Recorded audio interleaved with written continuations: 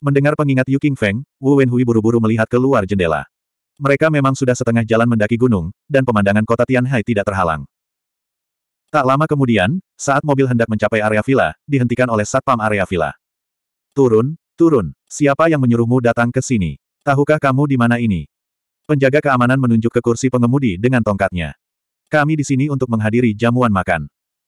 Nomor satu menurunkan kaca jendela mobil dan memandang penjaga keamanan dengan dingin. Tiba-tiba melihat seorang wanita berambut pirang di kursi pengemudi, satpam itu tertegun sejenak.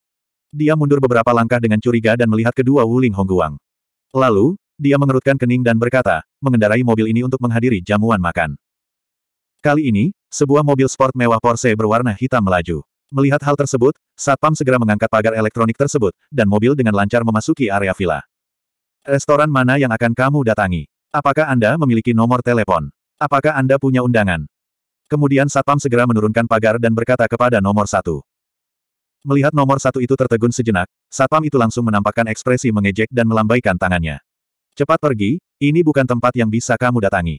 Tidak peduli apa motifmu, suasana hatiku sedang baik hari ini, jadi aku akan melepaskanmu. Pemimpin, dia tidak mengizinkan kita masuk. Apakah dia akan memaksa masuk?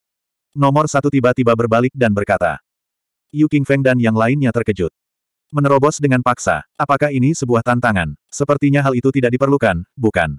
Tunggu, seseorang datang menjemput kita. Ningki berkata dengan ringan. Kekuatan spiritual Ningki menemukan Dong Fang Yan di distrik villa dan suaranya terdengar langsung di telinganya. Keluarlah ke pintu. Kakek Dong Fang, aku sangat gembira karena kondisimu tiba-tiba membaik kali ini. Kakekku secara khusus memintaku untuk datang dan menemuimu. Dia mengatakan bahwa ketika kamu kembali ke ibu kota, dia secara pribadi akan datang dan bermain catur denganmu. Di salah satu villa mewah di distrik villa, ada tiga meja di aula. Salah satunya adalah meja utama tempat Paman Dongfang dan yang lainnya duduk, dan masih ada tujuh atau delapan kursi kosong. Dua meja lainnya sudah terisi penuh, dengan Zhang Feiyu, Gu Fei, Wu Hao, dan yang lainnya duduk di sana. Sisanya adalah pria parubaya berusia empat puluhan atau lima puluhan, dan mereka semua memandang Paman Dongfang di meja utama dengan ekspresi menyanjung. Kelompok pria parubaya ini semuanya memiliki status tinggi di kota Tianhai. Tentu, tentu saja, Su Wen, Aku masih punya waktu sebelum kembali ke ibu kota. Jika kamu kembali dulu, beritahu kakekmu bahwa kamu baik sekali. Paman Dongfang berkata sambil tersenyum. Su Wen tersenyum dan menganggukkan kepalanya, lalu kembali ke tempat duduknya, tatapannya tertuju pada Dongfang Yan. Saat ini, ekspresi Dongfang Yan tiba-tiba berubah. Apa yang telah terjadi? Paman Dongfang berkata sambil tersenyum. Orang itu ada di sini. Aku akan menyambutnya. Bisik Timur Yan. Oh, pergi. Paman Dongfang terkejut sesaat, lalu mengangguk sambil tersenyum. Ayah, ada tamu. Dongfang Haoying membeku sesaat, lalu bereaksi. Itu orang itu. Paman Dongfang sedikit mengangguk. Ekspresi kegembiraan muncul di wajah Dongfang Haoying. Dia tidak pernah menyangka ayahnya bisa mengundang keberadaan seperti itu. Di masa depan, selama keluarga Dongfang bisa menjaga hubungan baik dengannya, mereka tidak perlu khawatir dengan apa yang terjadi sebelumnya. Su Wen dan yang lainnya agak penasaran. Dari kepergian Oriental Yan yang tergesa-gesa hingga percakapan antara Oriental Haoying dan Oriental Bo, semua orang sudah menduga bahwa masih ada tamu yang belum datang. Siapa yang sombong sampai datang terlambat? Terlebih lagi, Dongfang Yanlah yang akan keluar menjemput mereka. Saya khawatir mereka kaya atau bangsawan. Semua orang berpikir sendiri. Su Wen dan Zhang Feiyu saling berpandangan. Yang terakhir menggelengkan kepalanya sedikit, menunjukkan bahwa dia juga tidak bisa menebak siapa orang itu.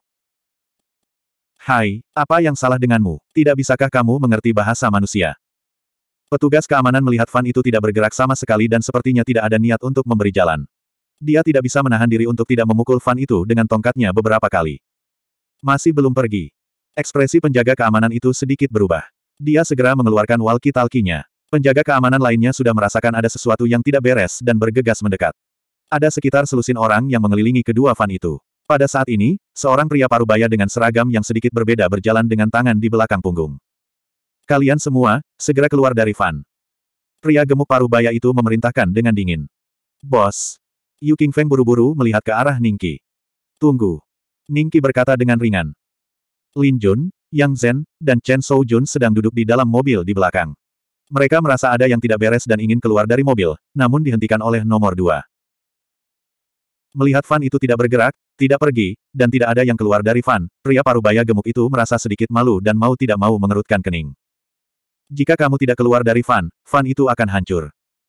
Pria gemuk parubaya itu mengancam dengan suara dingin, tapi Vannya tetap tidak bergerak.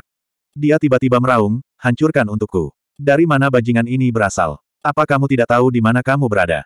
Iya, bos. Penjaga keamanan meraung dan bergegas menuju Van seperti serigala dan harimau. Tongkat itu jatuh ke atas Van seperti tetesan air hujan. Kecuali No. Satu, No. Dua, dan Ningki, semua orang terkejut. Lin Jun awalnya duduk di dekat jendela. Ketika dia melihat tongkat jatuh menimpanya, dia segera menghindar. Namun, ia menemukan bahwa jendelanya tidak hanya tidak pecah, bahkan tidak ada retakan. 20 detik penuh berlalu. Di bawah pemboman yang begitu gila, sebuah van biasa akan hancur. Namun rombongan satpam menemukan tidak ada jejak van tersebut, bahkan kacanya pun bersih. Angkat vannya. Seorang penjaga keamanan melihat ini dan meraung. Yang lain bereaksi satu demi satu dan siap membalikkan van. Namun, sekeras apa pun mereka berusaha, van itu tetap tidak bergerak. Bos, apakah vanmu anti peluru? Yu Feng tidak bisa menahan diri untuk tidak terlihat terkejut. Hampir. Ning Qi tersenyum. Berhenti. Suara yang terdengar manis terdengar. Suara ini dipenuhi amarah. Ketika penjaga keamanan mendengar suara ini, dia segera berbalik dan wajahnya tiba-tiba menunjukkan ekspresi menyanjung. Dia berlari mendekat dan berkata, Nona Dongfang, apa yang bisa saya bantu? Anda sebaiknya berdiri agak jauh. Saya khawatir orang-orang di kedua mobil ini punya niat buruk. Jangan biarkan mereka menyakitimu. Mereka adalah tamuku. Mengapa kamu tidak menyuruh anak buahmu untuk berhenti? Wajah Dong Fang Yan memerah karena marah. Apa? Kepala Satpam terkejut dan segera memerintahkan anak buahnya untuk berhenti. Sekelompok penjaga keamanan tidak mengerti apa yang sedang terjadi, tetapi ketika mereka melihat Dong Fang Yan dengan hormat berjalan ke depan van pertama dan sedikit membungkukkan tubuhnya, ekspresi mereka menjadi sangat indah. Mereka hanya tahu sedikit tentang identitas Dong Fang Yan. Mereka hanya tahu bahwa dia berasal dari keluarga terkenal di ibu kota. Dia jarang tinggal di sini, dan rumah sebelumnya pada dasarnya kosong. Dia baru saja pindah beberapa waktu lalu. Sejak mereka keluar, ada beberapa mobil yang standby setiap saat. Ada pria berpakaian hitam mengikuti mereka keluar masuk. Keamanan di sekitar villa jauh lebih profesional daripada mereka. Kelompok penjaga keamanan ini mengetahui bahwa identitas Dong Fang yang tidak sesederhana orang kaya biasa. 1542 Tuan Ning, kelalaian sayalah yang membuat kelompok orang ini menyinggung perasaan Anda. Dongfang Yan membungkuk dan berkata dengan nada meminta maaf. Nona Dongfang, ini, aku khawatir ini adalah kesalahpahaman. Kepala keamanan berjalan mendekat dengan senyum canggung. Dongfang Yan mengabaikannya dan terdiam beberapa saat sebelum terdengar suara dari Fan, masuk. Pintu terbuka perlahan. Dongfang Yan kaget dan langsung menghela nafas lega. Dia segera melompat ke dalam mobil dan mengabaikan kepala keamanan dari awal sampai akhir. Uling Hongguang langsung melaju ke dalam area villa, dan pagarnya masih belum ditinggikan. Ketika kepala keamanan bereaksi dan dengan cepat memberi isyarat kepada anak buahnya untuk mengulurkan tangan, nomor satu sudah mengemudikan mobil, mendobrak pagar, mengguncang pantatnya, dan menghilang di depan rombongan penjaga keamanan. Sial, sial sekali. Kepala keamanan tidak bisa menahan diri untuk tidak mengutuk. Bos, haruskah kita meminta mereka membayar ini? Penjaga keamanan yang pertama kali menghentikan Ningki dan yang lainnya melangkah maju dan menunjuk ke pecahan pagar di tanah dan berbisik. Bayar keberanianmu. Apakah Anda berani meminta mereka membayar? Kelompok orang kaya ini, jika punya uang, mengapa mereka tidak mengendarai mobil mewah dan mengendarai Wuling Hongguang? Kepala keamanan berbalik dan pergi sambil mengumpat. Adapun kekacauan itu, secara alami diserahkan kepada anak buahnya untuk dibersihkan. Sudah beberapa menit sejak Dong Fang Yan pergi. Paman Dong Fang sesekali mengobrol dan tertawa dengan orang-orang di sekitarnya serta minum secangkir teh bersama orang-orang yang datang untuk melamar bersulang. Namun, hidangan utama belum juga disajikan. Hal ini membuat mereka semakin penasaran dengan tamu yang akan disambut Dong Fang Yan nanti. Dia seharusnya tidak berasal dari kota Tianhai karena putri Zhang San, Zhang Feiyu, ada di sini. Zhang San sedang sibuk dan tidak berada di kota Tianhai. Kalau tidak, dia akan datang malam ini. Tak lama kemudian terdengar suara langkah kaki. Semua orang menoleh dengan rasa ingin tahu. Su Wen menemukan bahwa Dong Fang Bo, Dong Fang Haoying, dan yang lainnya juga telah berdiri, dan sedikit keterkejutan muncul di matanya.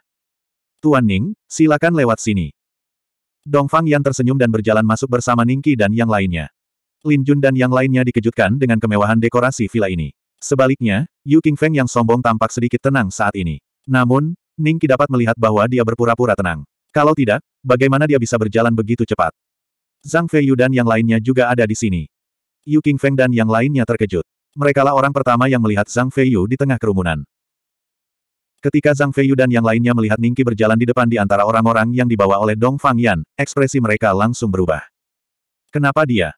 Ekspresi Su Wen sedikit berubah. Sekelompok siswa. Wajah orang-orang berpengaruh di kota Tianhai berubah ketika mereka melihat Ningki dan kelompoknya. Sekilas mereka dapat mengetahui bahwa Yu Feng dan kelompoknya memiliki aura siswa yang kuat pada mereka. Lantas, Mengapa sekelompok pelajar diundang ke tempat ini secara megah? Dari mana asal kelompok siswa ini? Lisin belum pernah melihat pemandangan seperti itu sebelumnya. Ditatap puluhan pasang mata, dia merasa sedikit takut. Tiba-tiba, dia merasakan cengkeraman Ningki di tangannya semakin erat. Dia tanpa sadar menatap Ningki, hanya untuk melihatnya tersenyum padanya dan mengangguk. Lisin segera merasa percaya diri. Sungguh suatu kehormatan bagi Tuan Ning untuk memberkati kami dengan kehadiran Anda hari ini. Dong Fang Bo tertawa sambil berjalan ke depan dan berjabat tangan dengan Ningki. Dong Fang Haoying dan istrinya, serta putra bungsu Dong Fang Bo, mengikuti di belakang Dong Fang Bo. Hai! Semua orang yang hadir menghirup udara dingin. Dong Fang Bo benar-benar berdiri untuk menyambut mereka secara pribadi. Saat mereka datang, hanya Dong Fang Yan yang ada di sana untuk menghibur mereka. Beberapa dari mereka adalah bawahan lama Dong Fang Bo, dan Dong Fang Haoying ada di sana untuk menghibur mereka. Ini sudah merupakan pengobatan terbaik. Namun, pemuda ini sebenarnya meminta Dong Fang Bo menyambutnya secara pribadi.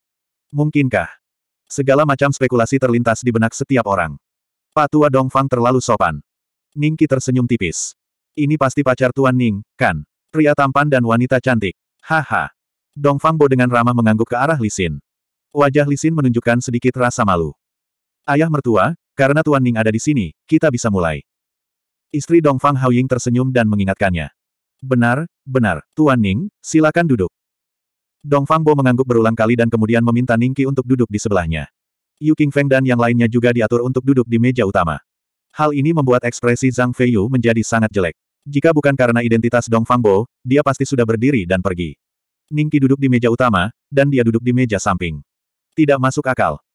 Meskipun Yu Feng tampak sangat acuh tak acuh, setelah duduk, dia seperti orang idiot. Lin Jun dan Yang Zhen, sebaliknya, sedikit pemalu dan sedikit menyesal di dalam hati mereka. Jika mereka tahu hal ini akan terjadi, mereka tidak akan datang. Perhatian Chen Jun tertuju pada Zhang Feiyu. Dari waktu ke waktu, dia melirik, diam-diam bersukacita karena dia mengikutinya ke sini hari ini. Dia tidak pernah menyangka akan ada hari di mana dia akan makan di bawah satu atap dengan dewinya. Di tengah makan, orang-orang di meja samping berulang kali datang untuk bersulang. Selain Oriental Bo dan Oriental Haoying, mereka juga bersulang untuk Ningki. Namun, Ningki sama seperti Dong Fang Bo, sedang minum teh. Di sisi lain, Yu Qingfeng dan yang lainnya minum terlalu banyak dan mulai berbicara. Tuan Ning benar-benar muda dan menjanjikan. Ketika Su Wen datang untuk bersulang, dia tersenyum tipis. Ningki tidak berdiri. Dia mengambil cangkir tehnya dan menyesapnya. Su Wen memanggangmu, tapi kamu minum teh. Apakah ini bisa diterima? Tanpa sadar, Zhang Feiyu telah berjalan ke sisi Su Wen dan menatap Ningki dengan dingin. Dong Fang Bo sedikit terkejut. Dari kata-kata ini, dia bisa menebak bahwa mungkin ada permusuhan antara Ningki dan Zhang Feiyu. Kalau tidak, tidak peduli betapa kurang ajarnya Zhang Feiyu, dia tidak akan mengucapkan kata-kata aneh seperti itu saat ini. Jika aku ingin minum, aku akan minum. Jika aku ingin minum, aku akan minum. Apa hubungannya denganmu? Ningki tersenyum dan melirik Zhang Feiyu. Anda. Zhang Feiyu jengkel. Beberapa orang yang hendak bersulang segera kembali ke tempat duduknya karena malu. Mereka bertukar pandang dan memiliki pemikiran yang sama dengan Dong Fangbo. Kamu adalah putri Zhang San, kan? Dong Fang Yan tiba-tiba menatap Zhang Feiyu. Iya. Zhang Feiyu mengangguk. Tuan Ning berkata bahwa dia tidak akan minum, jadi dia tidak akan minum. Anda tidak berhak berbicara di sini. Ingatlah identitas Anda dan ketahui batasan Anda. Dong Fang Yan dengan dingin menatap Zhang Feiyu. Adegan itu tiba-tiba berubah menjadi dingin. Tidak peduli apa, Zhang Feiyu adalah eksistensi yang menguasai lebih dari 100 miliar yuan. Di antara pria parubaya berusia 40-an dan 50-an, terdapat beberapa pengusaha besar, tetapi status mereka jauh lebih lemah daripada Zhang Feiyu. Tapi Dong Fang Yan benar-benar mengucapkan kata-kata seperti itu padanya. Hal ini secara tidak langsung membuktikan bahwa keluarga Dong Fang menghargai Ningqi. Mereka semakin penasaran dengan identitas Ningqi. Zhang Feiyu langsung marah. Su Wen mengulurkan tangan untuk menghentikannya dan kemudian dengan ringan memandang ke arah Dong Fang Yan, Feiyu adalah tunanganku. Sampai kamu mengatakan hal seperti itu padanya, apakah keluarga Dong Fangmu tidak menaruh perhatian pada keluarga suku? 1543. Su Wen, kalian anak-anak muda semuanya pemarah. Aku akan berpura-pura kamu tidak mengatakan apa-apa tadi. Dong Fang Bo terbatuk dan tersenyum pada Su Wen. Yaner, kamu harus menahan amarahmu. Bagaimana kamu bisa berbicara seperti itu kepada kakakmu Su Wen? Su Wen, jangan dimasukkan ke dalam hati. Istri Dong Fang Haoying tersenyum. Bagaimana kata-kata murid klan Su bisa diabaikan? Su Wen memandang Dong Fang Bo dengan senyuman yang bukan senyuman. Ekspresi Dong Fang Bo sedikit berubah. Meskipun dia masih memiliki senyuman di wajahnya, matanya bersinar karena kedinginan. Ekspresi Dong Fang Haoying juga sedikit berubah. Kali ini, orang-orang lainnya benar-benar tidak tahu apakah harus pergi atau duduk. Keluarga Su dan keluarga Dong Fang adalah keluarga terkenal di ibu kota. Jika terjadi konflik antara kedua keluarga dan mereka secara tidak sengaja terlibat, hal itu akan menjadi bencana bagi mereka. Namun, dari kelihatannya, sepertinya keluarga Su sedikit lebih kuat. Zhang Feiyu telah menjadi tunangan Su Wen. Berita ini telah beredar di kalangan eselon atas selama lebih dari 10 hari. Aliansi antara grup Gunung Arktik dan keluarga Su tidak sesederhana satu tambah satu. Kakek memanggilku ke sini kali ini bukan hanya untuk melihat apakah kamu sudah sembuh dari penyakitmu, tetapi juga untuk menyampaikan pesan kepadamu. Jangan melanjutkan apa yang kamu lakukan sebelumnya. Jika tidak, lain kali, tidak akan sesederhana penyakit. Su Wen tersenyum pada Dong Fangbo. Itu kamu. Jadi keluarga Su adalah. Dong Fang Haoying sangat marah. Diam. Dong Fangbo mengulurkan tangan, menyela Dong Fang Haoying. Wajahnya serius saat dia mengukur Su Wen. Sebelumnya, aku sudah menduga bahwa itu mungkin Su tua. Sekarang, tampaknya itu benar-benar dia. Keluarga Sumu, apakah kamu berhasil melakukan kontak dengan keberadaan pada tingkat itu? Sudah bertahun-tahun. Saya juga orang yang Anda bicarakan. Su Wen berkata sambil tersenyum, bukan senyuman. Memang benar, dia melihat ekspresi Dong Fangbo berubah drastis dan menghela nafas lega di dalam hatinya. Dia juga. Ekspresi Dong Fang Haoying dan yang lainnya sedikit berubah saat mereka memandang Su Wen dengan ketakutan. Orang itu. Zhang Feiyu tanpa sadar melirik Su Wen. Dia memikirkan apa yang dikatakan Zhang San padanya sebelumnya dan ekspresi kegembiraan muncul di wajahnya. Jadi ayahnya ingin dia menikah dengan Su Wen bukan karena dia menghargai kekuatan keluarga Su, tetapi karena dia menghargai Su Wen sebagai pribadi. Sebelumnya, Zhang Feiyu selalu berpikir bahwa karena bisnis grup pegunungan Arktik baru-baru ini ditekan secara misterius, maka Zhang San memunculkan ide aliansi pernikahan. Zhang Feiyu tidak terlalu tertarik dengan urusan bisnis, tetapi dia tahu bahwa Zhang San secara pribadi telah berkeliaran selama periode waktu ini, jadi dia menduga ada beberapa masalah besar yang telah terjadi. Di antara orang-orang yang hadir, ada beberapa yang ekspresinya tiba-tiba berubah. Ketika mereka melihat ke arah Su Wen lagi, tatapan mereka menjadi sangat hormat, karena mereka pernah mendengar keberadaan tingkat itu. Su Wen tiba-tiba mengulurkan tangannya dan meletakkannya di atas meja di depan Ningki. Semua orang sedikit terkejut. Saat berikutnya, cahaya putih muncul dari telapak tangan Su Wen. Meja marmer itu tiba-tiba meledak berkeping-keping, membuat takut semua orang. Batu yang beterbangan bahkan menggores pipi Dong Fangbo. Tapi Lisin dan yang lainnya dirawat secara khusus oleh Ningki. Mereka tidak terluka oleh batu tersebut, tetapi mereka juga dikejutkan oleh pemandangan ini. Tanahnya dipenuhi kerikil seukuran telur angsa.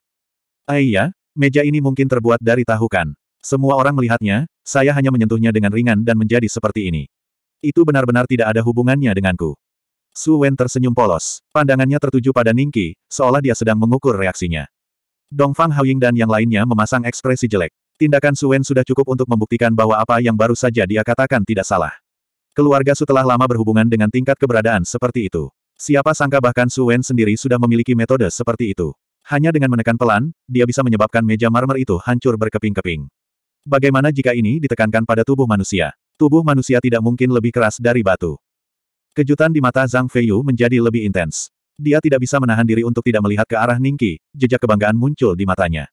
Baru sekarang dia benar-benar percaya dengan apa yang dikatakan Zhang San tentang metode supernatural yang dimiliki para ahli bela diri. Sangat, sangat kuat. Wu Hao dan yang lainnya menatap Su Wen, tercengang. Mereka tidak pernah menyadari bahwa Su Wen mempunyai metode seperti itu. Mungkin bahkan tuan mereka sendiri tidak akan mampu menghancurkan meja marmer besar ini dengan mudah, bukan? Su Wen, kamu. Dong Fang Yan memandang Su Wen dengan kaget dan marah. Su Wen meliriknya dengan senyuman tipis, lalu tersenyum pada Dong Fang Bo dan berkata, terima kasih untuk makanan hari ini. Saya sangat menikmatinya. Saya akan pergi dulu. Setelah mengatakan itu, dia berbalik dan pergi. Zhang Feiyu mendengus dingin ke arah Ningqi, lalu dengan dingin melirik ke arah Dong Fang Yan sebelum mengikutinya. Gu Fei, Wu Hao, dan yang lainnya melihat ini dan tidak tinggal lebih lama lagi. Mereka juga bangkit dan mengikuti mereka. Dong Fang Bo tidak berniat menghentikan kepergian Su Wen. Tapi saat ini, apakah aku bilang kamu boleh pergi? Ningqi melihat punggung Su Wen dan berkata dengan acuh tak acuh. Swoosh, swoosh, swoosh. Tatapan semua orang langsung tertuju pada Ningqi. Mata mereka dipenuhi dengan keterkejutan dan kebingungan. Langkah kaki Su Wen terhenti sebentar. Dia perlahan berbalik dan menatap Ningki sambil tersenyum, apa yang baru saja kamu katakan? Aku di sini untuk makan hari ini. Kamu menghamburkan piring di atas meja ke tanah dan bahkan merusak meja. Kamu ingin pergi begitu saja. Ayo, bersihkan piring dan bantu aku memperbaiki meja. Lalu kamu bisa pergi. Ningki memandang Su Wen dan berkata sambil tersenyum tipis. Saya mendengar dari Fei Yu dan yang lainnya bahwa Anda juga seorang ahli martial Dao. Hem, anda bahkan lebih kuat dari yang disebut 10 Grandmaster besar seperti Hong Wenwu. Klan Dongfang mengundang Anda ke sini hari ini dan membiarkan Anda duduk di kursi utama karena ini, kan? Tapi, apakah Anda benar-benar berpikir bahwa apa yang disebut kartu truf Anda bukanlah kartu yang buruk di mata saya? Su Wen memandang Ningki dengan senyum tipis. Ahli seni bela diri. Jadi itu dia. Banyak orang yang hadir mengira mereka mengetahui alasan sikap Dong Fang Bo terhadap Ningki. Cara mereka memandang Ningki tiba-tiba menjadi kurang serius. Bagi mereka, apakah ahli seni bela diri itu? Bisakah seorang ahli seni bela diri tanpa kekuatan menolak senapan sniper? Bisakah dia menolak bom? Apakah kamu ingin menyerahkan kartuku dan melihatnya? Ning Qi tersenyum. Hahaha. Su Wen menggelengkan kepalanya dan tertawa beberapa kali. Kemudian dia tersenyum pada Zhang Feiyu dan yang lainnya dan berkata, tunggu aku. Setelah mengatakan itu, dia berjalan menuju Ning Qi. Kamu benar-benar ingin melihatnya. Oke, kalau begitu aku akan membiarkanmu melihatnya. Ning Qi tersenyum dan masih duduk di kursi. Li Xin dan yang lainnya mulai ketakutan. 1544. Hati-hati. Yu Qingfeng dan yang lainnya berseru tanpa sadar. Apa yang baru saja ditunjukkan Su Wen berada di luar jangkauan kesadaran mereka. Meskipun mereka tahu bahwa Ningki bisa bertarung, mereka tidak berpikir bahwa Ningki akan menjadi lawan yang bukan manusia. Meja marmernya rusak. Bagaimana jika Ningki ditendang? Mata Zhang Feiyu menunjukkan sedikit kesenangan. Dia akan melihat Ningki dipukuli seperti anjing mati oleh Su Wen. Dia sudah mulai merencanakan bagaimana membalas semua kebencian sebelumnya hari ini. Di antara orang-orang yang hadir, hanya keluarga Dongfang yang tampak sedikit tenang, karena hanya mereka yang tahu bahwa Ningki juga berada pada level itu. Puncak Refining tahap pertama, hehe. Ningki tersenyum tipis. Ketika kaki Suen hendak jatuh ke dada Ningki, dia tiba-tiba seperti melangkah ke dalam lumpur dan dikunci oleh suatu kekuatan. Dia tidak bisa lagi bergerak maju ketika dia berada sekitar satu kaki dari dada Ningki. Ada sedikit keterkejutan di mata Suen. Dia secara tidak sadar ingin menarik kakinya, tetapi kekuatan itu tidak hanya mencegahnya menendang Ningki, tetapi juga mencegahnya menarik kakinya. Ini sangat memalukan. Su Wen mempertahankan postur menendang dan tidak bisa bergerak. Semua ki di tubuhnya berkumpul di kakinya, tapi tetap saja tidak berguna. Apa? Apa yang terjadi? Ada sedikit keraguan di mata semua orang. Senyuman muncul di mata Dong Fangbo. Ternyata Ningki memang berada di level itu dan tidak takut dengan naga darah abadi. Kalau tidak, bagaimana mungkin Su Wen tidak menyentuh Ningki? Melihat pemandangan ini, Zhang Feiyu tertegun sejenak. Wu Hao dan orang lain di sebelahnya tiba-tiba tersentak dalam hati mereka dan memandang Ningki dengan tidak percaya. Anda, Su Wen memandang Ningki dengan kaget dan marah. Hah? Yu Qingfeng melihat pemandangan ini dengan tercengang, dan kemudian tiba-tiba tertawa, jadi kamu bukan tandingan bos kami. Mengapa Anda mempertahankan postur ini? Apakah kamu seorang model? Jejak rasa malu dan kemarahan muncul di mata Su Wen. Apakah kamu tidak ingin melihat kartu trufku? Anda harus membayar sejumlah harga, bukan? Ningki tersenyum pada Su Wen. Senyuman ini langsung membuat hati Su Wen tenggelam. Dia memandang Ningki dengan rasa takut. Siapa kamu? Pihak lain jelas bukan ahli seni bela diri yang dia pikirkan sebelumnya. Tidak peduli seberapa kuat seorang ahli seni bela diri, bagaimana dia bisa menandingi eksistensi seperti dia. Di ibu kota, dia bertarung dengan Master Gang Jin terkuat dan mengalahkannya hanya dengan satu gerakan. Ningki tidak menjawab. Dia dengan ringan menepuk lutut Suen, dan suara retakan yang mengerikan terdengar di aula. Kemudian, kaki Suen patah, dan betisnya terlempar ke atas dengan suhu 90 derajat. Pada saat ini, dia tiba-tiba menyadari bahwa kekuatan yang mengunci dirinya telah menghilang, dan dia jatuh ke tanah sambil melolong menyedihkan. Melihat tuan muda dari keluarga Su yang bergengsi di Beijing dalam keadaan seperti itu, semua tokoh besar di kota Tianhai menelan air liur mereka dan memandang Ningqi dan Su Wen, yang terbaring di tanah, dengan ngeri. Beberapa dari mereka mengertakkan gigi dan segera berlari ke arah Su Wen, bersiap untuk membawanya pergi. Mereka memiliki hubungan yang baik dengan keluarga Su, dan inilah saatnya bagi mereka untuk menjilat mereka. Apakah aku mengizinkanmu menyentuhnya? Ningki mengangkat kelopak matanya. Ini, Tuan Ning, mungkinkah Anda ingin membunuh Tuan Muda Su di sini? Dia sudah terluka seperti ini. Beberapa dari mereka menekan rasa takut di hati mereka dan berkata kepada Ningki. Aku akan memberimu waktu tiga detik untuk kembali ke tempat dudukmu. Jika tidak, kamu akan berbaring di sini seperti dia. Ningki tersenyum. Kamu sombong sekali. Status kami. Ah. Saat pria itu hendak memarahi Ningki, kakinya tiba-tiba patah, dan dia langsung jatuh ke tubuh Suen. Lalu, dia menjerit kesakitan. Melihat ini, yang lain segera berlari kembali ke tempat duduk mereka dan duduk, dahi mereka dipenuhi keringat dingin. Kamu, kamu sangat melanggar hukum. Pria itu memandang Ningki kesakitan dan menggeram dengan suara rendah. Lalu, dia melihat ke arah Paman Dongfang. Tuan Dongfang, apakah Anda hanya akan melihatnya melakukan pembunuhan di sini? Paman Dongfang tersenyum dan berkata, Anda tidak punya hak untuk berbicara antara Tuan Ning dan Suen. Bahkan jika Tuan Ning ingin menghancurkan tempat ini hari ini, keluarga Dongfang juga akan mengangkat kedua tangannya sebagai tanda persetujuan. Eh, pria itu langsung terdiam.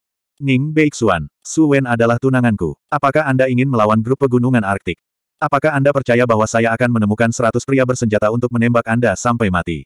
Dan pacarmu serta keluarga sepupumu, jangan pernah berpikir untuk hidup. Melihat keadaan Suen yang menyedihkan, Zhang Feiyu langsung meledak seperti kucing yang ekornya diinjak dan berteriak pada Ningqi. Berbicara tentang bagaimana menemukan pria bersenjata untuk membunuh orang di depan umum. Semua orang tanpa sadar membuang muka karena mereka mengetahui latar belakang Zhang San. Semua yang dikatakan Zhang Feiyu barusan kemungkinan besar benar. Tiba-tiba, niat membunuh muncul di mata Ningqi. Dia memandang Zhang Feiyu dengan dingin. Zhang Feiyu hanya merasa seolah-olah tubuhnya telah jatuh ke dalam gudang es, dan dia tidak bisa berkata apa-apa lagi. Tamparan ini untukku memberimu pelajaran atas nama Zhang San. Ningqi tiba-tiba berkata dengan acuh tak acuh. Mata Zhang Feiyu dipenuhi dengan keterkejutan. Kemudian, dia melihat Ningqi mengayunkan telapak tangannya ke udara. Suara keras dan tajam bergema di aula. Kemudian, Zhang Feiyu merasa seperti terkena kekuatan tak terlihat. Seluruh tubuhnya terbang secara diagonal dan berputar beberapa kali sebelum mendarat dengan keras di tanah. Saat semua orang melihatnya lagi, satu sisi wajahnya sudah merah dan bengkak seperti sanggul. Kengerian, ketidakpercayaan, keterkejutan, ketakutan. Segala macam tatapan langsung tertuju pada Ningqi. Mereka benar-benar yakin bahwa Ningki setidaknya berjarak 8 hingga 9 meter dari Zhang Feiyu, tetapi dia benar-benar mengirimnya terbang dengan tamparan di udara. Arti supernatural macam apa ini? Bahkan Yu Qingfeng dan yang lainnya pun terkejut. Mata Chen Soujun bersinar dengan cahaya yang tak tertahankan, dan dia gemetar seolah ingin mengatakan sesuatu. Namun, ketika dia melihat profil Ningki, dia langsung menelan kata-kata yang ingin dia ucapkan. Kamu, sudah selesai. Haha, Anda sudah selesai. Su Wen tiba-tiba mengangkat kepalanya dan menatap Ningki. Tawanya sedikit gila. Zhang Feiyu sadar, dan kemarahan yang tak terkendali melonjak dari lubuk hatinya. Namun, alasan terakhir yang tersisa dalam dirinya membuatnya memilih untuk tidak berbicara saat ini. Dia takut. Cara Ningki memandangnya barusan sangat dingin, seolah-olah dia sedang melihat. Mayat. Apakah kamu masih punya kartu truf? Ningki memandang Suen dan tersenyum. Saya juga ingin melihat kartu truf Anda. Jika Anda punya, tunjukkan semuanya. Mata Suen menunjukkan sedikit kegilaan. Jika kamu ingin melihat kartu trufku, cucilah lehermu sampai bersih. Dia mengeluarkan ponselnya dan memutar nomor. Tuan Ning. Timur Bo memandang Ningki. Ningki tersenyum dan melambaikan tangannya. Biarkan dia melakukannya.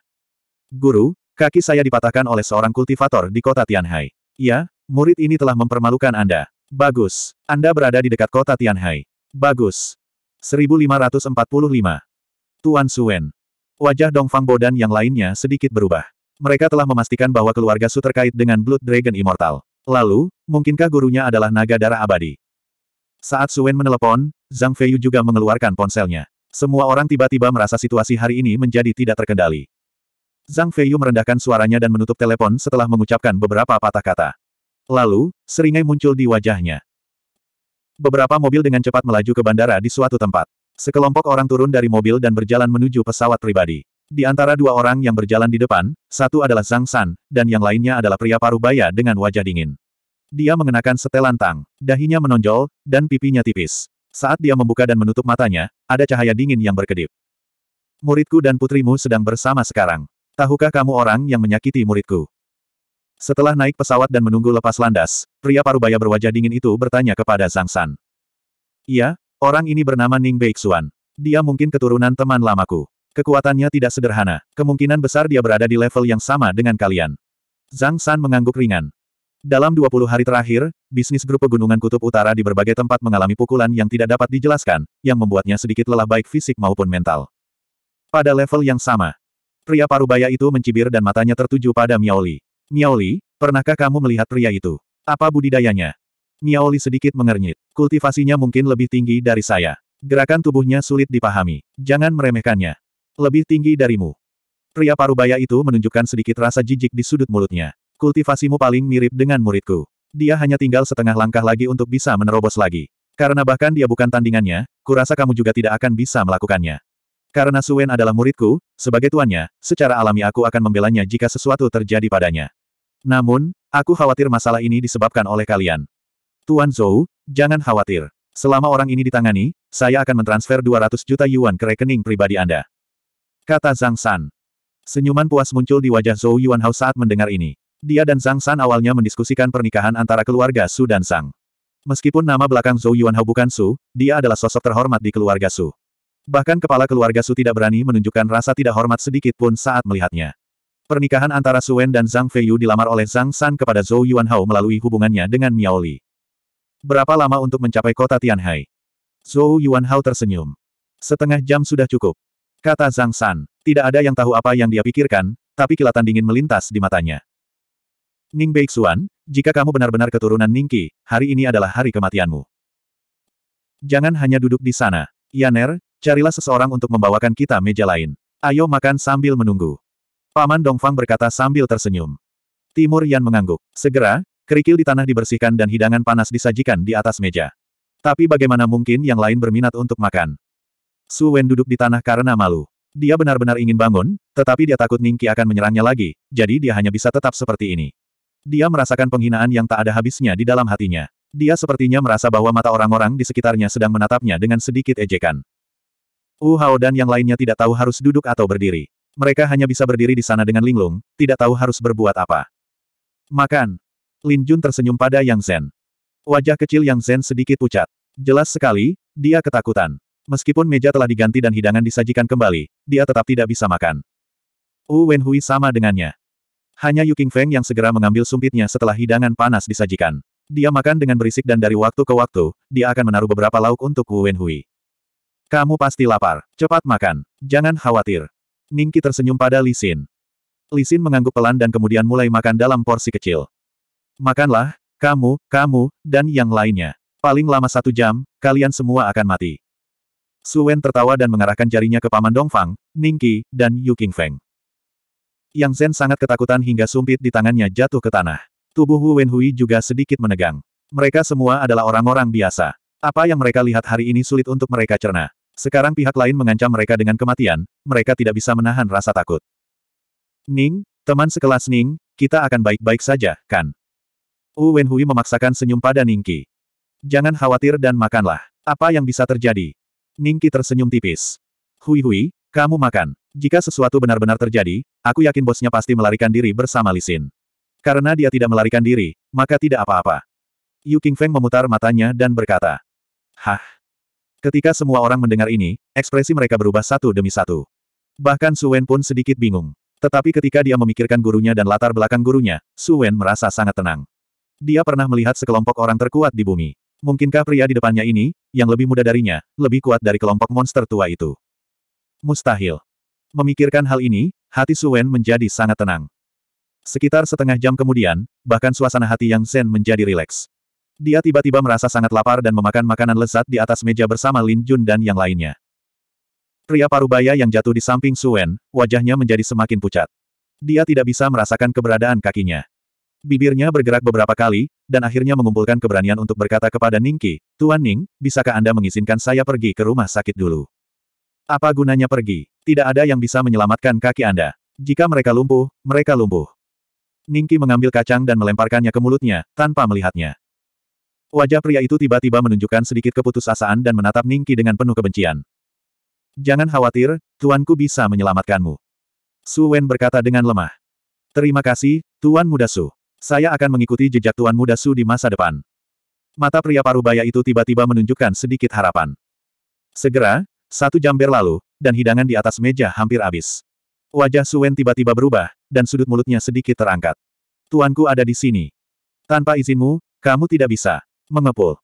Beberapa pria berbaju hitam yang semula menjaga pintu tiba-tiba terbang ke aula. Kemudian, Zhou Yuanhao dan Zhang San masuk berdampingan, dan Miao Li mengikuti di belakang mereka. Zhang San juga ada di sini. Ekspresi semua orang berubah. Ayah. Zhang Feiyu dengan cepat berjalan ke sisi Zhang San. Zhang San melihat luka di wajahnya dan berkata sambil tersenyum, siapa yang memukulmu? Aku akan membalasnya untukmu nanti. Tunggu di samping dulu.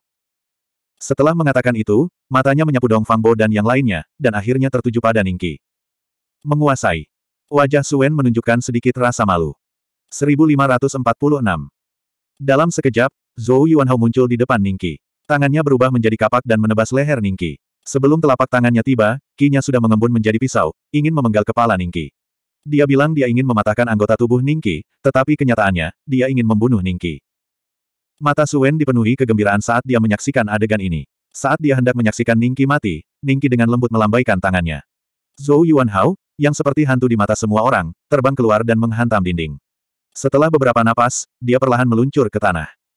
Saat semua orang terkejut, Ningki dengan lembut meraih udara.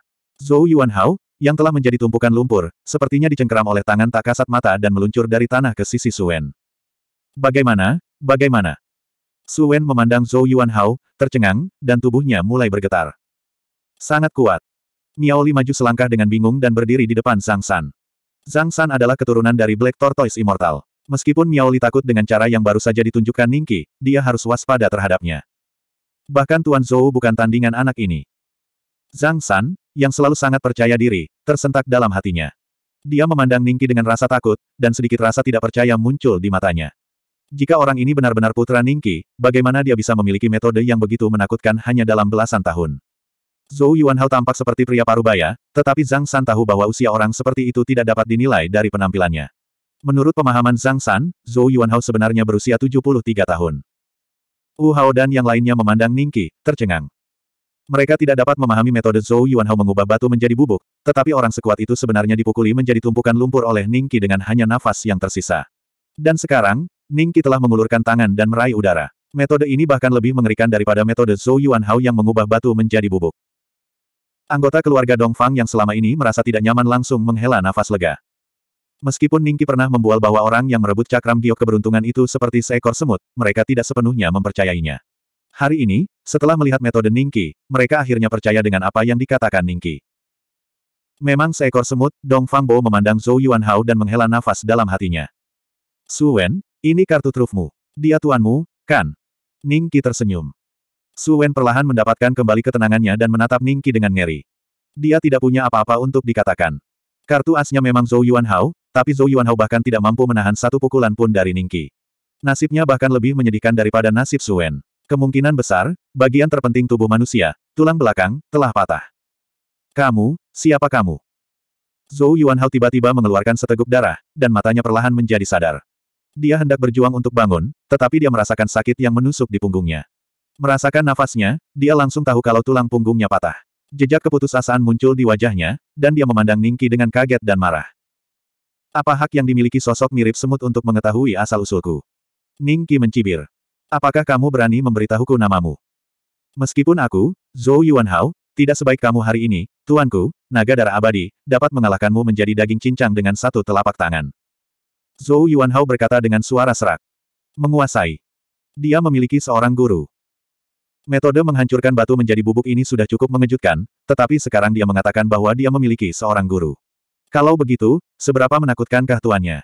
Naga darah abadi, apakah dia seorang Tao? Banyak orang yang diam-diam terkejut dan ragu. Tuanmu adalah naga darah abadi. Ningki sedikit terkejut. Zhou Yuanhao memperhatikan ekspresi Ningki. Melihat ekspresi Ningki berubah, Zhou Yuanhao segera menjadi sedikit tenang, dan seringai muncul di wajahnya. Saya rasa Anda juga pernah mendengar nama guru saya. Saya adalah murid guru. Jika guru mengetahui bahwa tulang punggung saya dipatahkan oleh Anda hari ini, saya khawatir Anda tidak dapat melarikan diri dari surga atau neraka. Baiklah, aku akan memberimu kesempatan. Panggil tuanmu ke sini. Ningki berkata dengan ringan. Zhou Yuanhao tiba-tiba merasa lega. Dia berpikir bahwa nama Dewa Naga Darah telah menakuti Ningki, jadi dia segera mengulurkan tangan dan mengeluarkan jimat giok dan langsung menghancurkannya. Setelah jimat giok dipatahkan, seberkas cahaya langsung ditembakkan, dan orang-orang tiba-tiba merasa itu luar biasa. Tunggu, setengah hari lagi, tuanku akan tiba. Zhou Yuanhao menatap Ningki dan mencibir. Tidak perlu setengah hari, dia akan segera tiba. Ningki berkata dengan ringan. Zhou Yuanhao sedikit terkejut, tidak tahu apa maksud Ningqi. Kota Tianhai. Di depan markas besar grup Gunung Arktik, Blood Dragon Immortal, Granny Ling, Qin Immortal, dan Evil Immortal berdiri berdampingan. Saat ini, aura mereka berbeda dari sebelumnya. Setelah meminum ramuan pemecah kepompong yang diberikan oleh Ningqi, mereka semua berhasil menembus peringkat enam dari alam pemurnian Qi. Saya tidak tahu bagaimana kelompok pegunungan Arktik menyinggung seseorang seperti guru. Nenek Ling berkata dengan rasa ingin tahu. Sekarang kekuatan kita telah meroket lebih dari sepuluh kali lipat. Bahkan jika Black Tortoise Immortal datang sendiri, dia tidak bisa mengalahkan kita. Mengapa saya tidak langsung masuk dan menghancurkan gedung ini? Dewa jahat menyeringai. Guru berkata bahwa selama kelompok pegunungan Arktik bangkrut, saya khawatir guru tidak akan menyukainya. Dengan kekuatan guru, jika dia ingin menghancurkannya, bukan giliran kita. Kata abadi yang baik hati sambil tersenyum. Lalu apa yang harus kita lakukan? Dewa jahat sedikit terkejut. Itu tergantung pada Blood Dragon Immortal dan Nenek Ling. Kami tidak memiliki produk apa pun di dunia sekuler, tetapi mereka masing-masing mengendalikan kelompok besar. Meskipun tidak sebaik grup Gunung Arktik, selama kita bekerja sama, maka Arctic Mountain Group tidak berarti apa-apa bagi kami. Baik abadi tersenyum. Pada hari kita keluar dari pengasingan, kita sudah memerintahkan orang-orang kita untuk menyelesaikan sesuatu. Sekarang kita hanya perlu menunggu di sini untuk Black Tortoise Immortal. Naga darah abadi mencibir. Saat berikutnya, cahaya putih tiba-tiba memasuki tubuhnya. Tiga lainnya menoleh. Salah satu muridku dalam bahaya. Dia ada di kota Tianhai. Mata Blood Dragon Immortal penuh dengan niat membunuh. Yah, bagaimanapun juga, Black Tortoise Immortal tidak akan datang ke sini secepat ini. Mengapa kita tidak pergi bersama dan melihat siapa yang begitu berani menyerang muridmu? Evil Immortal siap bergerak. Keempatnya saling memandang, lalu berbalik dan pergi. Di villa. Mahasiswa Ning, lebih baik meredam permusuhan daripada membiarkannya tetap hidup.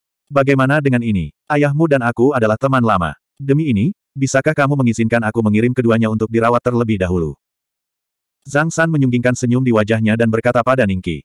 Zhang San dan ayah orang ini adalah teman lama. Lalu kenapa orang ini begitu menentang keluarga Zhang? Bahkan Zhang Feiyu baru saja ditampar. 1547. Tidak perlu. Hanya tuanku yang bisa menyembuhkan lukaku. Aku ingin melihat tuanku mengubah anak ini menjadi daging cincang. Ningki tidak mengatakan apa-apa, tapi Zhou Yuan Hao mencibir.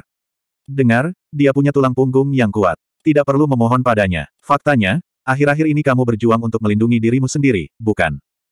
Ningki memandang Zhang San dengan senyum tipis. Zhang San tertegun, lalu menatap Ningki dengan kaget. Kamu main-main denganku akhir-akhir ini. Tanpa menunggu jawaban Ningki, Zhang San sudah mengkonfirmasi hal ini. Lalu, ekspresi dingin muncul di wajahnya. Dia tidak menyangka kalau pelaku yang membuatnya berlarian adalah anak ini. Saya sudah mengatakannya sebelumnya, saya akan mengambil sendiri saham grup pegunungan Arktik. Saat itu, Anda ingin menikahkan Zhang Feiyu dengan saya, tetapi saya tidak menginginkannya. Sekarang, Anda telah berbalik dan menemukan orang lain untuk mengambil alih. Aku tidak percaya kamu begitu peduli pada putrimu. Ning Qi mencibir. Apa? Zhang Feiyu menatap Zhang San dengan tatapan kosong. Su Wen juga tiba-tiba mengangkat kepalanya dan menatap Zhang San. Zhang San ingin menikahkan Zhang Feiyu dengan bos. Ini adalah berita besar. Yu Feng dan yang lainnya memandang Ningqi dengan mulut ternganga. Hehe. Ekspresi Zhang San tidak berubah saat dia mencibir. Namun, sedikit kemarahan muncul di matanya. Aku hanya bercanda, namun kamu menganggapnya sangat serius. Apakah kamu layak menyentuh putriku? Kamu bisa menikahkan putri Zhang San dengan siapa pun yang menyukainya. Oh benar, teman sekelasku cukup menyukainya. Mengapa tidak menikahkannya dengannya? Ningki tersenyum dan menunjuk ke arah Chen Soujun. Bos, kamu. Chen Soujun tidak menyangka topik itu tiba-tiba beralih ke dirinya. Wajahnya memerah. Su Wen sudah menjadi cacat. Anda tidak akan membiarkan putri Anda menikah dengan seseorang yang harus duduk di kursi roda atau menggunakan kruk selama sisa hidupnya, bukan? Ningki tertawa mengejek. Kakiku tidak lumpuh. Su Wen meraung. Ku bilang itu lumpuh. Tidak ada yang bisa menyembuhkanmu, dan tidak ada yang berani melakukannya. Ningki berkata dengan dingin. Nada yang besar sekali. Raungan tiba-tiba datang dari luar, dan kemudian empat sosok masuk ke aula satu demi satu. Zhou Yuanhao segera berteriak sekuat tenaga, Tuan. Kepala keluarga. Mata Suen juga menunjukkan sedikit keterkejutan. Aku Zhang San, seorang junior sekuler dari Dewa Kura-Kura Hitam. Senang bertemu denganmu, Dewa Naga Darah. Zhang San juga buru-buru memberi hormat. Miao Li, yang berdiri di depannya, tidak berani mengabaikan naga darah abadi. Naga darah abadi berada di alam yang sama dengan Grandmasternya, Immortal Suan Wu. Melihat kondisi Zhou Yuanhao dan Su Wen yang menyedihkan, mata naga darah abadi tiba-tiba tertuju pada Ningqi. Kamu benar-benar, sebelum dia menyelesaikan kata-katanya, dia tertegun. Tuan, ini bocah nakal ini. Dia mematahkan tulang punggung saya. Tolong balas dendam saya, Tuan. Zhou Yuanhao memelototi Ningqi, matanya dipenuhi kebencian yang mengakar. Ini adalah Tuan dari Tuan Su Wen. Wu Hao dan yang lainnya melihat pemandangan ini dengan ngeri. Hingga saat ini, mereka tidak mengetahui bahwa ada begitu banyak keberadaan mengerikan di bumi. Di masa lalu, mereka mengira bahwa tuan mereka, Kepala Gunung Utang, sudah menjadi eksistensi paling kuat dan dikenal sebagai salah satu dari sepuluh Grandmaster Huaxia. Tapi dibandingkan dengan kemampuan Su Wen barusan, dia jauh lebih rendah. Menguasai. Wajah naga darah abadi menjadi pucat. Dia melangkah maju dengan cepat dan kemudian berlutut dengan bunyi gedebuk. Dia meluncur langsung ke lantai di depan Ningki dan meletakkan dahinya di tanah. Nenek Ling dan yang lainnya juga saling memandang dengan ngeri dan segera berlutut di depan Ningki. Menguasai. Apa yang sedang terjadi? Semua orang melihat pemandangan ini dengan kaget. Bukankah ini Tuan Zhou Yuan Hao? Mengapa dia menyebut orang ini Tuan? Bahkan Paman Dongfang tidak dapat memahaminya. Jika tebakannya benar, penyakit aneh yang dideritanya beberapa waktu lalu disebabkan oleh naga darah abadi. Tapi di depannya, naga darah abadi memanggil Tuan Ningki. Wajah Zhang San tiba-tiba menjadi seputih kertas. Dia melihat pemandangan ini dengan tidak percaya, dengan ketakutan di matanya. Begitu pula Miao Li, yang berdiri di depannya, menatap Ningki dengan heran, dengan mulut kecilnya terbuka membentuk O. Dari mana asal muasal bos kita? Gelombang demi gelombang kejutan membuat Yu Feng dan yang lainnya tiba-tiba merasa bahwa Ningki saat ini sangat aneh. Tuan, Tuan, ada apa denganmu? Zhou Yuanhao memandang naga darah abadi dengan kaget dan ragu. Naga darah abadi mengabaikannya dan masih menempelkan dahinya ke tanah. Tuan, saya tidak tahu Anda ada di sini. Beraninya saya menyinggung perasaan Anda. Saya pantas mati. Berdiri dan bicara. Ningki berkata dengan ringan. Iya. Naga darah abadi dan tiga lainnya tiba-tiba berdiri, merasa pahit di hati mereka. Tapi yang paling menakutkan adalah naga darah abadi. Sejak dia meminum cocon breaking pill dan menerobos, posisi Ningki dalam pikirannya telah meningkat tajam. Ini adalah kesempatannya, dermawannya. Hanya keberadaan seperti manusia abadi yang bisa memberikan ramuan ajaib. Apakah kamu kenal kedua orang ini? Ningki berkata dengan ringan. Tuan, anak laki-laki ini adalah muridku. Adapun pria ini, dia harus menjadi murid-muridku. Naga darah abadi menatap dingin ke arah Zhou Yuanhao dan Suen, lalu berkata dengan hormat kepada Ningki. Zhou Yuanhao dan Suen hanya merasa menggigil di sekujur tubuh mereka. Segalanya telah sampai pada titik ini. Tidak peduli seberapa lambatnya mereka, mereka akhirnya mengerti bahwa orang yang mereka sakiti ternyata adalah keberadaan yang lebih menakutkan daripada naga darah abadi. Dengan baik. Ningki tersenyum dan memandang Zhou Yuanhao dan Suen. Kartu truf terakhirmu ada di sini. Apakah kamu punya lagi? Jika tidak. Senior, aku salah, senior. Guru, tolong selamatkan saya. Saya tidak tahu identitas Anda. Ketidaktahuan bukanlah kejahatan. Ini semua salah anak ini. Aku akan membunuhnya sekarang untuk meminta maaf padamu. Pikiran Zhou Yuanhao tampak kacau. Tiba-tiba, dia memukul jantung Su Wen dengan telapak tangannya. Mata Su Wen langsung melebar saat dia menatap Zhou Yuanhao dengan tidak percaya. Lalu, dia jatuh ke tanah, tak bernyawa. Pembunuhan. Sekarang setelah semuanya berkembang sampai pada titik ini, seseorang akhirnya meninggal. Ekspresi semua orang langsung berubah. Orang yang paling ketakutan adalah Yu Feng dan yang lainnya. Namun, mereka tahu betul bahwa mereka dibawa ke sini oleh Ningki. Sekarang Ningki memiliki keunggulan absolut, bahkan jika seseorang meninggal, itu tidak akan melibatkan mereka. Tuan muda dari keluarga Su meninggal seperti ini. Ini, akan mengubah dunia. Semua orang terkenal di kota Tianhai berpikir dengan ngeri. Apakah dia mati? Ningki sedikit mengernyit dan melihat sekeliling. Dia melihat jiwa Su Wen berdiri di kejauhan dengan linglung. Dia dengan cepat bereaksi dan menerjang Ningki, memperlihatkan taringnya dan mengacungkan cakarnya. Tidak ada kultivator dunia bawah. Apakah yang dikatakan enam kecil itu benar? Jalan surga di sini benar-benar mati. Ningki sedikit terkejut. Lalu dia menjentikan jarinya, dan jiwa Su Wen tiba-tiba menghilang seperti asap. Ningki berkata kepada naga darah abadi, karena ini adalah muridmu, aku akan memberimu wajah hari ini. Aku akan membawanya kembali dan melatihnya dengan baik. Terima kasih Tuan. Naga darah abadi tiba-tiba menghela nafas lega. Ningki bahkan tidak membunuh Zhou Yuanhao, jadi dia tidak seharusnya menyalahkannya atas pelanggaran yang baru saja dia lakukan. Terima kasih, Guru. Terima kasih, Guru. Zhou Yuanhao berkata tanpa berpikir. Retakan. Naga darah abadi menghancurkan semua giginya dengan sebuah tamparan dan berkata dengan dingin, kualifikasi apa yang kamu miliki untuk memanggilku Tuan? Apakah aku punya kualifikasi untuk memanggilnya Tuan? Siapa orang ini? 1548. Zhou Yuanhao hampir kehabisan nafas setelah ditampar oleh naga darah abadi, dan ada ekspresi ngeri di matanya. Zhang San, kamu ingin pergi ke mana? Suara Ningki tiba-tiba terdengar. Saat itu, Nenek Ling mulai bergerak. Sosoknya secepat kilat, dan dia mengirim Yao Li, yang melindungi Zhang San dan Zhang Feiyu, terbang. Kemudian, dia meraih Zhang San dan Zhang Feiyu di depan Ningqi, masing-masing memegang satu tangan. Tuan, orang ini pasti Zhang San dari grup pegunungan Arktik, kan? Nenek Ling tersenyum. Iya, itu dia. Ningqi tersenyum dan memandang Zhang San. Tidak sopan pergi tanpa pamit. Apa yang kamu inginkan? Nenek moyang saya adalah Master Dao Kura-Kura Hitam. Metodenya luar biasa, jadi jangan main-main. Zhang San berkata dengan wajah pucat. Jangan khawatir, aku tidak akan membunuhmu secepat ini. Ningki tersenyum tipis. Zhang San segera menghela nafas lega. Selama dia tidak mati hari ini, dia akan segera membawa Zhang Feiyu untuk menemukan leluhurnya, kura-kura hitam, dan kemudian bersembunyi di sana. Kamu bisa mempertimbangkan apa yang aku katakan sebelumnya. Ningki tersenyum. Apa itu? Zhang San tercengang.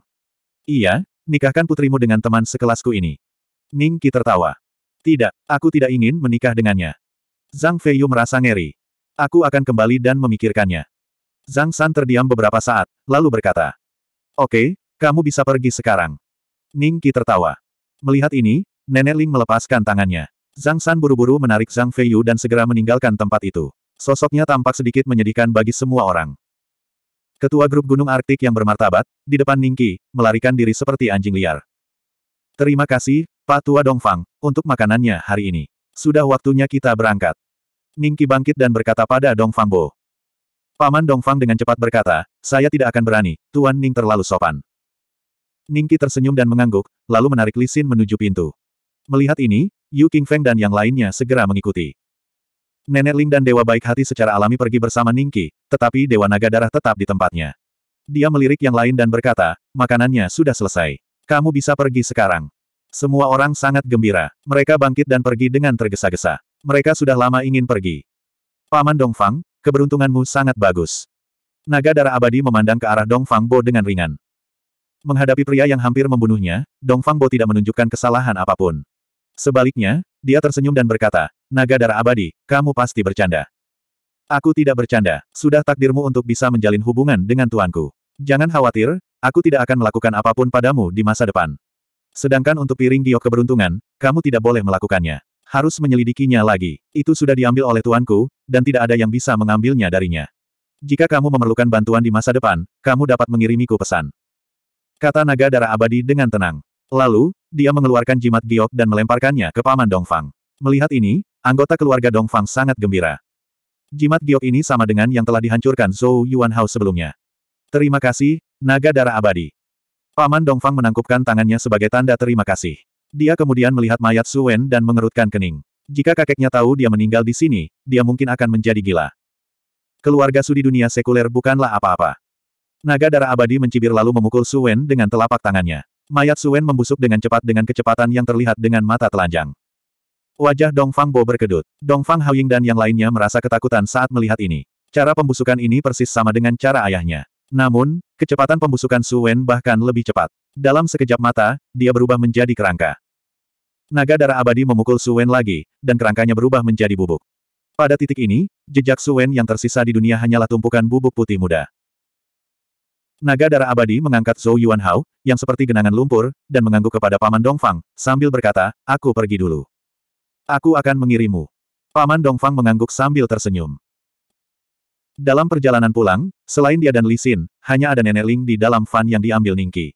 Kebaikan abadi sedang duduk di van lain, dan dia dibombardir oleh Yu Qingfeng dan yang lainnya. Apakah ada yang ingin kamu tanyakan? Ningki memandang Li Xin yang terdiam, dan bertanya sambil tersenyum. Li Xin kembali sadar, ekspresinya rumit, dan ada sedikit ketakutan di matanya. Dia adalah orang biasa, dan meskipun dia sudah mengetahui kemampuan Ningki, ketika dia melihat seseorang dipukuli sampai mati di depannya, itu benar-benar mengejutkan dan menakutkan. Apakah orang itu benar-benar mati? Li Xin bergumam. Dia seharusnya sudah mati. Ningki mengangguk sambil tersenyum. Nenek Ling memandang Li Xin dengan sedikit cemburu, berpikir bahwa itu semua adalah sebuah kesempatan.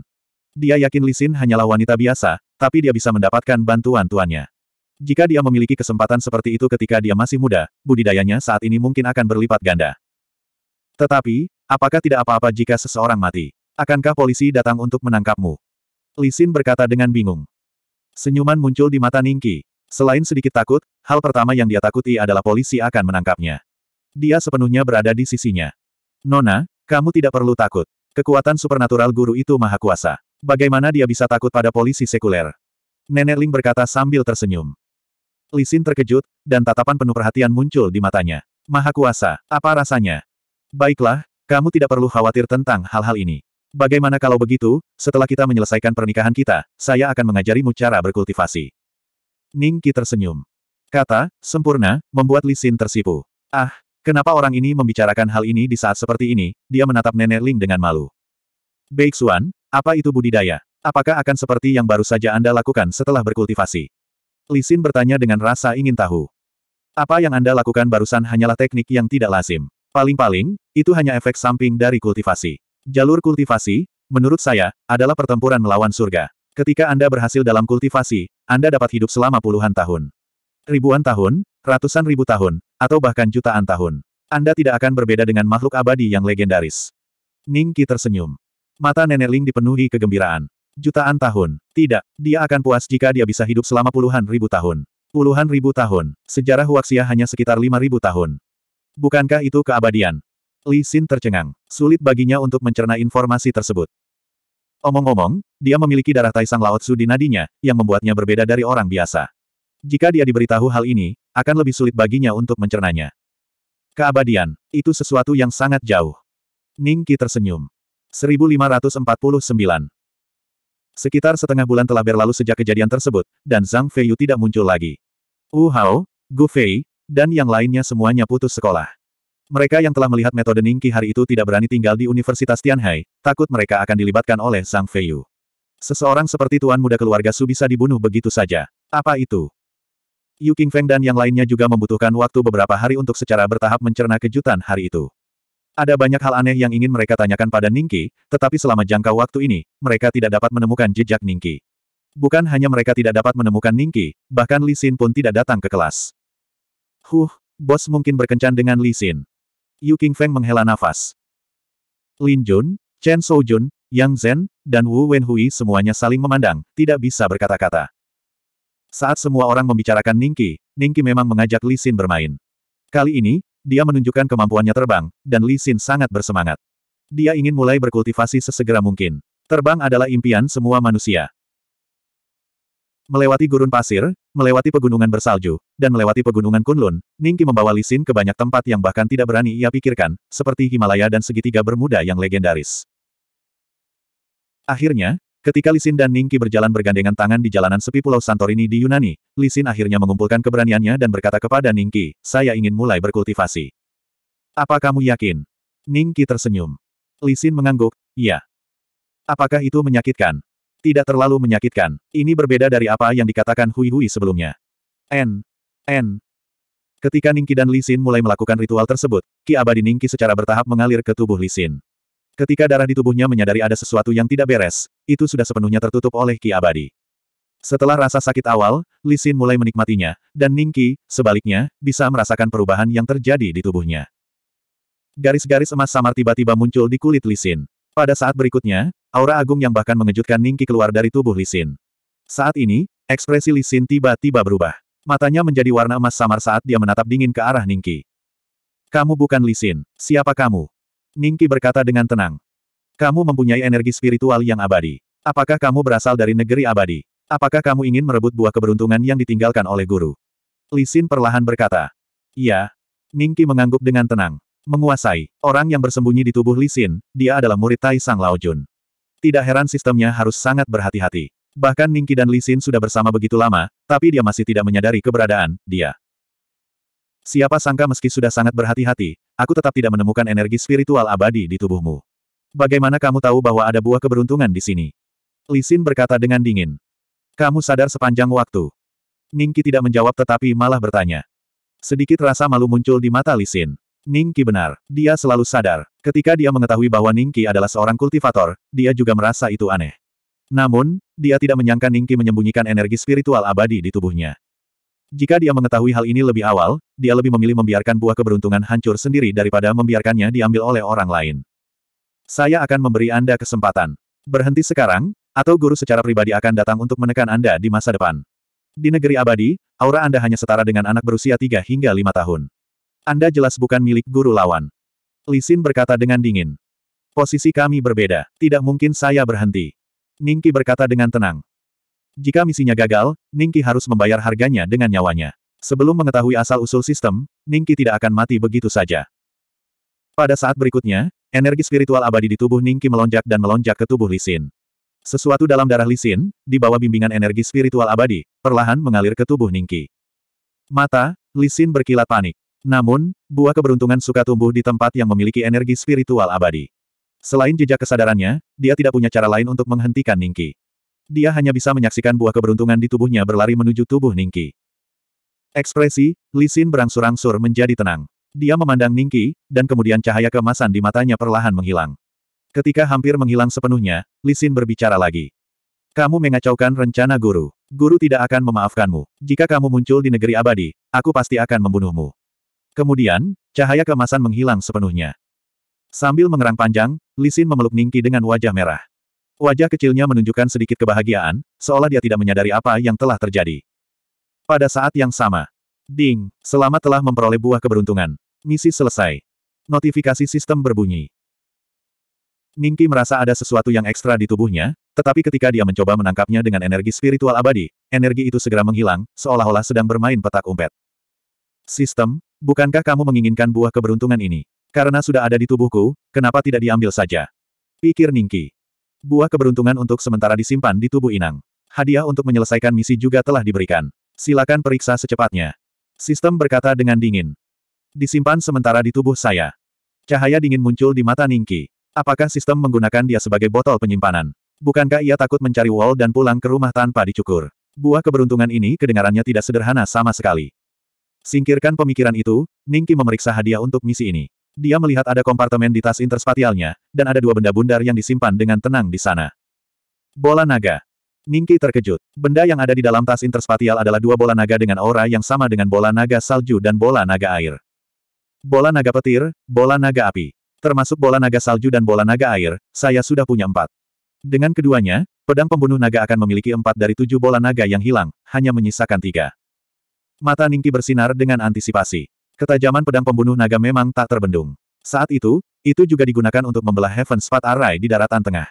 Jika ketujuh bola naga ditemukan, seberapa kuatkah itu? Sepertinya buah keberuntungan ini memang penting. Sistem pelit menghadiahiku dua bola naga sekaligus. Sudut mulut Ningki terangkat. Baik Xuan, apa yang kamu tertawakan? Lisin bertanya dengan bingung. Ningki menatapnya dan tersenyum. Apakah kamu merasakan adanya perubahan pada tubuhmu? Oh, kamu nakal sekali. Lisin menunduk malu-malu. Aku tidak bermaksud begitu, Ningki tidak bisa menahan tawa. Anggap saja saya tidak bertanya. Mari kita berlatih serangkaian teknik kultivasi untuk membantu Anda membangun fondasi Anda. Teknik budidaya apa? Lisin sangat menantikannya. 1550. Di sebuah pulau kecil di luar negeri, sebuah jet pribadi mendarat tepat di landasan pacu pulau tersebut. Tidak lama kemudian, Zhang San dan Zhang Feiyu turun bersama sekelompok orang. Di ujung landasan, ada seorang wanita berjubah Daois. Kakak senior Zhang. Ketika Miao Li melihat wanita berjubah Daois, dia buru-buru melangkah maju dan menangkupkan tangannya untuk memberi salam. Saudari junior Miao, Grandmaster telah menerima pesanmu. Wanita berjubah Tao itu mengangguk sedikit, lalu memandang Zhang San dan berkata, Tuan Zhang, silakan ikuti saya. Zhang San mengangguk. Di bawah bimbingan wanita berjubah Tao, semua orang berjalan ke hutan di samping. Setelah berjalan lebih dari satu jam, mata mereka tiba-tiba terbuka. Tangga lurus berwarna biru muncul di depan mereka. Di ujung tangga ada kuil Tao. Setelah melihat kuil Tao, suasana hati Zhang San akhirnya rileks.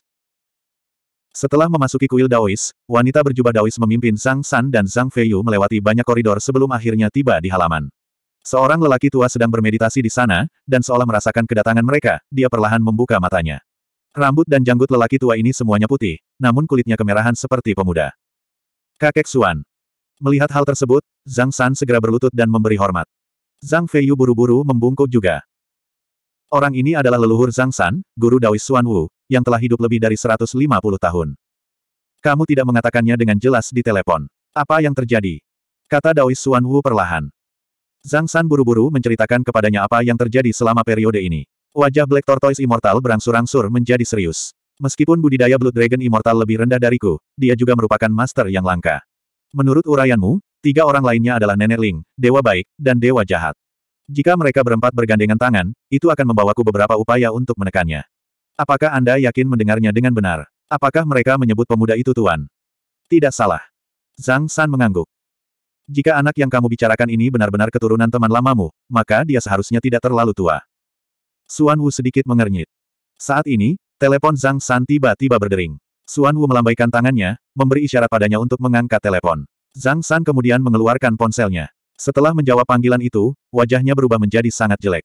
Sesuatu terjadi pada Arctic Ridge Group. Zhang San berkata dengan wajah pahit. Apa yang telah terjadi? Suara kura-kura hitam terdengar sedikit dingin. Di permukaan, pemilik grup pegunungan Arktik adalah Zhang San, namun pemilik sebenarnya adalah dia. Grup Wind Spirit dan grup Yulong telah bekerja sama untuk membeli saham kami. Kata Zhang San. Kelompok Nenek Ling dan Naga Darah Abadi, hehe, apa gunanya itu? Bukankah Anda dan putri Anda memiliki sebagian besar saham? Cahaya dingin melintas di mata Suan Wu. Juga, beberapa tambang batu giok di bawah kelompok itu. Dibantai. Zhang San berbisik. Mata kura-kura hitam menyipit. Giok milikku bermandikan darah. Apakah Anda sudah menyimpan ramuan yang saya minta untuk Anda siapkan? Letakkan. Zhang San mengangguk dengan tergesa-gesa. Saat ini, telepon berdering lagi. Setelah Zhang San menyelesaikan panggilan, matanya berkedip. Melihat Dewa Kura-Kura Hitam menatapnya dengan dingin, Zhang San hanya bisa menundukkan kepalanya dan berkata, beberapa gudang ramuan rahasia juga dirampok. Jamu yang kubeli khusus untukmu semuanya dicuri. Kalau begitu, bahan yang aku minta kamu persiapkan. Juga sudah habiskan. Kata Daois Suan Wu ringan. Biarkan aku menelepon dan bertanya. Zhang San buru-buru mengangkat telepon, dan kemudian wajahnya tiba-tiba menjadi sangat pucat. Dia sedikit malu dan tidak berani menatap Black Tortoise. Aku mengerti. Naga darah abadi, nenek Ling, dewa baik dan jahat. Hehe, aku sudah terlalu lama tidak muncul di dunia ini. Mereka tidak menganggapku serius lagi. Black Tortoise Immortal sangat marah hingga dia tertawa. Kakek Suan, budidaya Ning Suan mungkin lebih kuat dari mereka. Zhang San mengingatkan. Paling-paling, dia setara denganku. Seberapa kuat dia, dia pasti mengalami pertemuan yang tidak disengaja setelah berkultivasi selama lebih dari 10 tahun. Baiklah, ini juga kesempatanku. Tunggu sampai aku menangkapnya dan mengeluarkan hartanya secara paksa. Kura-kura hitam abadi mencibir. Di mana para murid kuil abadi kura-kura hitam? Suaranya seperti guntur. Desir-desir-desir. Selusin sosok diam-diam mendarat di depan Black Tortoise Immortal. Kami akan muncul. Kamu tetap di sini dan stabilkan wilayahmu dulu. Ningki tersenyum pada Xin. Dia secara khusus menukar teknik budidaya ganda dari sistem. Meskipun itu bukan teknik yang sangat mendalam, budidayanya berada pada tahap alam transendensi yang sempurna. Dia memiliki energi roh abadi yang sangat agung. Setelah beberapa hari berkultivasi ganda, Li Xin juga berhasil menerobos ke tahap pertama alam pemurnian Qi dan membangun fondasinya. Selain itu, fondasinya lebih stabil dibandingkan kultivator biasa. Bagaimanapun, ini dilakukan oleh Ning Qi secara pribadi. N. Li Xin mengangguk senang. Dia merasakan setiap sel di tubuhnya melonjak kegirangan. Bahkan tanpa pengingat Ning Qi, dia sudah sedikit bersemangat. Ningki keluar dari kamar. Saat dia menutup pintu, sosoknya sudah menghilang. Dia telah tiba di tempat budidaya teratas. Pedang pembunuh naga muncul di tangan Ningki. Ada tiga bola naga di atasnya, bola naga salju, bola naga air, dan bola naga guntur. Ningki mengeluarkan bola naga bumi dan bola naga api yang dia peroleh kali ini dan memasangnya satu persatu. Dengan kilatan cahaya, aura pedang pembunuh naga berubah, menjadi lebih tajam dari sebelumnya. Ding, selamat telah memperoleh bola naga bumi dan membangkitkan kekuatan bumi. Ding, selamat telah memperoleh bola naga api dan membangkitkan kekuatan Yan dan Huang. Kekuatan bumi, kekuatan Yan dan Huang. Ding, karena pedang pembunuh naga telah memperoleh lima bola naga, ia telah kembali menjadi artefak abadi tingkat rendah. Artefak abadi tingkat rendah. Ningki sedikit terkejut. Ketika dia mendapatkan tiga bola naga, pedang pembunuh naga hanya kembali ke artefak abadi tingkat rendah. Tapi sekarang, itu telah melonjak dua tingkat dan menjadi artefak abadi tingkat rendah. Mata Ningki menunjukkan ekspresi gembira. Dia mengeluarkan sembilan lonceng Dewa Skanda dan menyentuhnya dengan ringan dengan pedang pembunuh naga. Lonceng sembilan Dewa Skanda segera bersinar terang. Kemudian, di tempat yang disentuhnya, retakan tipis muncul. Sembilan lonceng Dewa Skanda adalah artefak abadi kelas atas, dan memiliki sifat pertahanan. Sentuhan ringan seperti ini sebenarnya menyebabkan retakan. Ketajaman pedang pembunuh naga mungkin telah meningkat lebih dari seratus kali lipat. Di masa depan, bahkan jika saya bertemu seseorang dengan artefak abadi pertahanan kelas atas, saya dapat membunuhnya dengan satu tebasan. Pada level ini, bahkan artefak abadi tingkat rendah biasa tidak akan mampu menahannya. Ningki sedikit senang. Dia tidak menggunakan Coiling Dragon Rod untuk mengujinya lagi. Bagaimanapun, hasilnya akan sama. Setelah menggunakan teknik sembilan neraka tempering untuk memperbaiki retakan pada sembilan lonceng Dewa Skanda, Ningki tiba-tiba menebas. Salju. Air. Guruh. Bumi. Api.